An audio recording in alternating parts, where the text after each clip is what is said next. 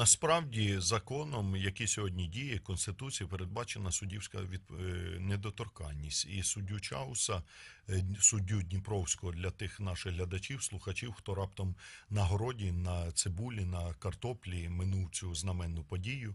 Минулого тижня оперативники НАБУ затримали з хабарем у 150 тисяч доларів скандально відомо суддю Дніпровського районного суду міста Києва Чауса.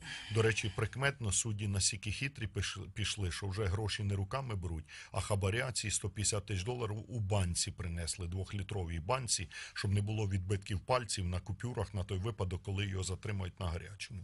Так от цього суддю не можна притягнути до відповідальності, бо Конституція гарантує йому недоторканність. Саме тому його досі не затримали. Саме тому, як тільки ми почули повідомлення про викриття цього хабарника судді, я одразу звернувся до голови парламенту з ініціативою скористатися наданим йому законом правом і самому скликати позачергову сесію Верховної Ради. Якщо цей суддя хабарник утече, то це буде на відповідальності тих, хто не скликав засідання парламенту. Конституція сьогодні передбачає, що позачергова сесія Верховної Ради може бути скликана в трьох випадках: або 150 підписів народних депутатів, або ініціатива президента, або ініціатива голови парламенту. Я просив голову парламенту скликати засідання. Фракція радикальної партії майже в повному складі перебуває сьогодні в Україні. Ми готові будь-якої миті зібратися для участі у роботі Верховної Ради для того, щоб дати дозвіл на притягнення судді хабарника до кримінальної відповідальності. А от е, я розумію, представники радикальної партії зараз практично всі в Києві в Україні.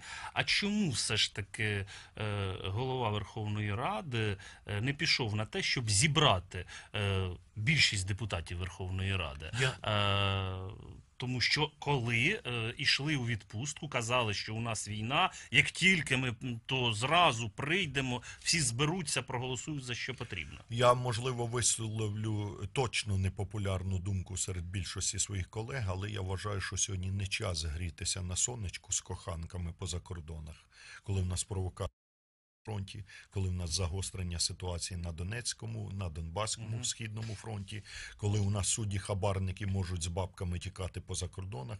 Тому я звертаюся до всіх своїх колег підняти свої сідниці із м'яких курортів, негайно вернутися до України і приступити до роботи. Тобто суддю Чауса не позбавили недоторканності винятково тому, що ваші колеги сидять зараз, засмагають на сонечку, і їм не до війни, вони гарно почуваються, у них все добре на відміну від народа. Я не був Ну, в більшості. Я не був би таким категоричним е, щодо всіх своїх колег, але безумовно переважна більшість саме е, отакі пофігістські люди, які не усвідомлюють свою відповідальність перед українцями, перед історією і перед рідною країною.